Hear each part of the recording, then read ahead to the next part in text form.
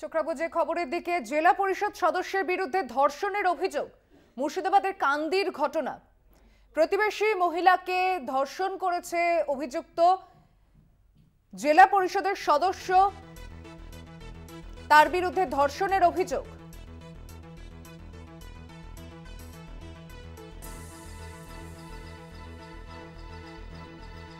মুর্শিদাবাদ কান্দি থানায় অভিযোগ দায়ের। অভিযুক্ত মুর্শিদাবাদ জেলা পরিষদের সদস্য।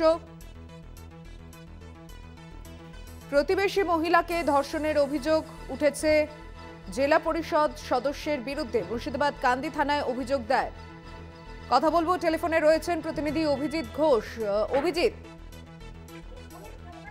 দেখো সুচন্দ্রিমা গতকাল এক মহিলা জেলা পরিষদের সদস্যের বিরুদ্ধে দিনের পর দিন হুমকি এবং ধর্ষণের অভিযোগ দায়ের করছে কান্দি থানার মহিলার অভিযোগের ভিত্তিতে কিন্তু কান্দি থানার পুলিশ ঘটনার তদন্ত শুরু করেছে।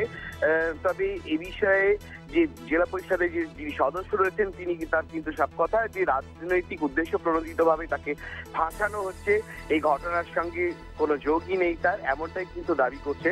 তবে মহিলা যেহেতু ওই জেলা পরিষদ সদস্যের বিরুদ্ধে অভিযোগ দায়ের করেছে, ঘটনায় কিন্তু তদন্ত শুরু করেছে কান্দি থানার পুলিশ। ধন্যবাদ অভিজিৎ।